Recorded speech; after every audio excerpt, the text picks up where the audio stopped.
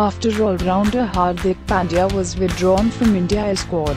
a BCCI official said, Yo-yo test and all he can clear in his sleep. He doesn't wish to take any half measures. This comes after reports said Hardik failed mandatory fitness tests ahead of India A's tour to New Zealand. Hardik had undergone back surgery in October last year. Subscribe to the channel for more news.